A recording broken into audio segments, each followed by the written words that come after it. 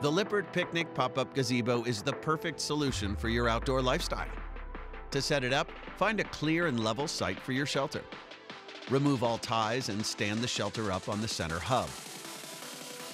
Open the shelter with the roof facing up with poles on the inside of the shelter.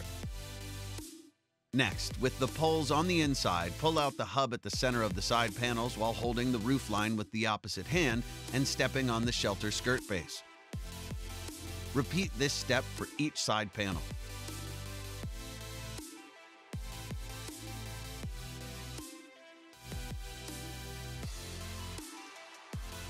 Assemble and install the door poles on each side of the door. Insert each end of the pole into the webbing loop. Stake out the shelter and guy lines.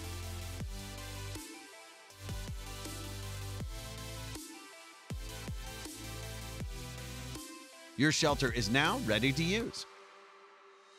To take down your shelter, remove all of the stakes and guy lines.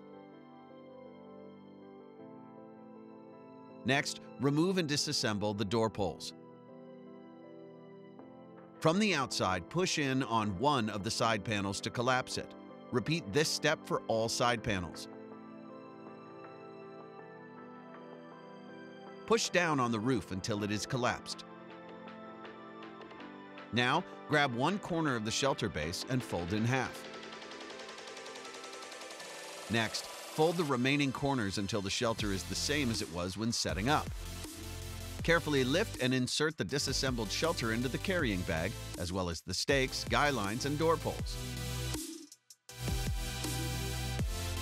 For any troubleshooting questions, contact Lippert Customer Service at 432 Lippert.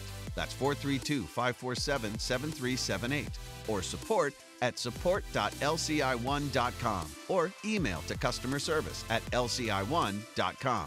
Thanks for watching.